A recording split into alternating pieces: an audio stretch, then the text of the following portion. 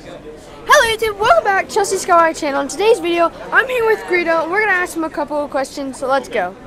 So my first question is, did you wear a full body costume or was it makeup? Ah, very good question, Chelsea. No, it was um, mostly a mask, just which finished here.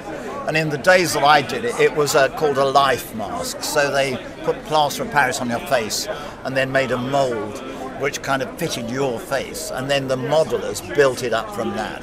So in those days, that's the way we sort of did a mask. Today, you're right, it will be a full body makeup. What was your favorite memory of playing Chelsea. your part? Chelsea. My favourite memory is um, is the canteen at Elstree Studios having lunch. no, I, I loved uh, I loved most of it. It was a long while ago now. It was 1976, so uh, it's kind of a distant memory. But um, the cantina sequence was pretty cool because all the booths were real, and so all the aliens sitting around, which you don't see in the movie, were fantastic. So I watched quite a lot of that. That was cool.